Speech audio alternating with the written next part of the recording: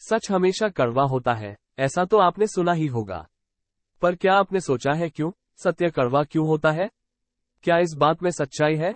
एक उदाहरण से जानते हैं, एक व्यक्ति जो बीमार है, अगर उसे हम अच्छा भोजन देते हैं तो उसे भोजन अच्छा नहीं लगता।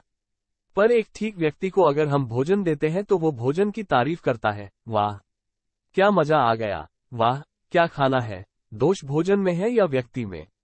उसी प्रकार सत्य कड़वा नहीं है। हमें सत्य कड़वा लग रहा है।